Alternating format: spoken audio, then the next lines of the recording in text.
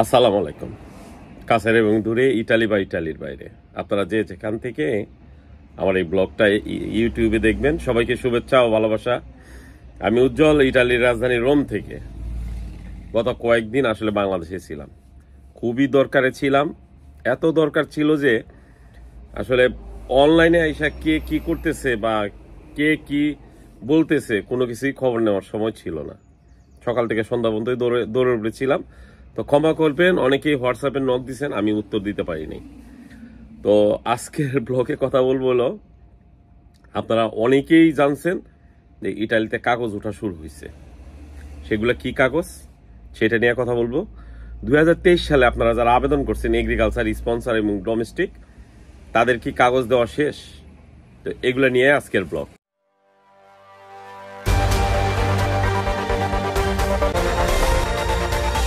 দু হাজার তেইশ সালের ডিসেম্বরে যারা আবেদন করছেন, সেই কাগজগুলো কি দেওয়া শেষ হয়ে গেছে মানে নলস্তা? যেগুলা ছিল কোটার ভিতরে এগ্রিকালচার সেটা মোটামুটি শেষ। তারপরে সরকার বিশ হাজার বাড়িয়েছে, যেটা বর্ধিত কোটা হিসাবে আমরা চিনি, সেইটারও ম্যাক্সিমাম কাগজ দেওয়া শেষ।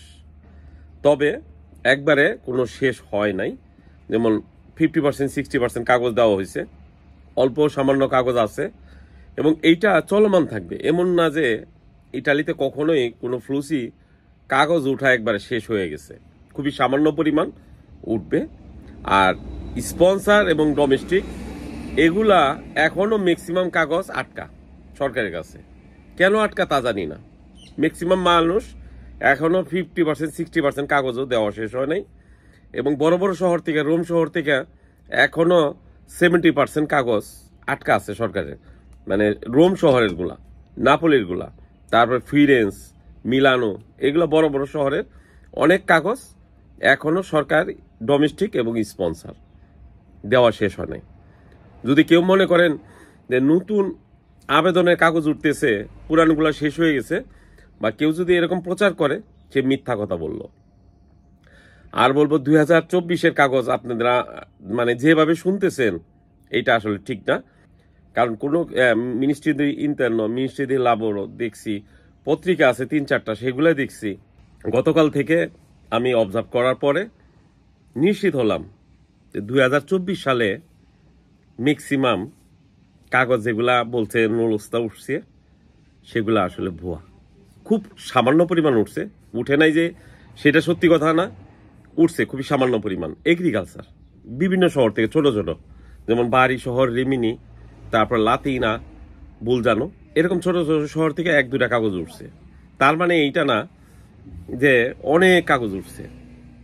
এবং খুবই সামান্য পরিমাণ এবং এই মুহূর্তে কাগজ ওঠার কথা না। কারণ এই মাসে কাগজ ওঠার কথা না। হয়তোবা তাদের সার্ভারে কোনো সমস্যার কারণে অতি দ্রুত কাগজ দিয়ে দিছে। এবং নিশ্চিত হবেন, যারা নিজের মাধ্যমে নিছেন সেই কাগজগুলা উঠানোর মানে স্পিড আইডির মধ্যেই তো আসে প্যাকের মাধ্যমে।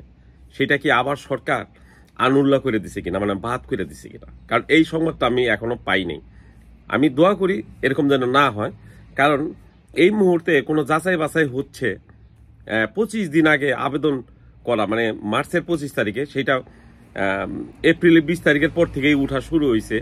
এই নজির কখনো ছিল না। আর গত বছরের কাগজ এখনও বাকি আছে। তো সাবধান থাকবেন। এখন বিএফএস গ্লোবালে এই কাগজগুলা যখন এন্ট্রি করবেন, তখনই আপনারা নিশ্চিত হবেন, যখন অ্যাপয়েন্টমেন্ট পাবেন যে আপনি জমা দেন, তাহলে নিশ্চিত হতে পারবেন যে হ্যাঁ আমার কাগজগুলা অরিজিনাল ছিল। এখনই কাগজের কথা বইলা টাকা লেনদেন করবেন, বিপদে পড়বেন।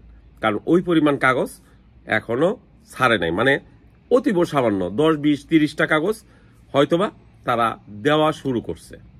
তো সবাই ভালো থাকবেন। দোয়া করবেন। আমি ইটালিতেই আছি। ভালো থাকবেন সবাই। আসসালাম আলাইকুম।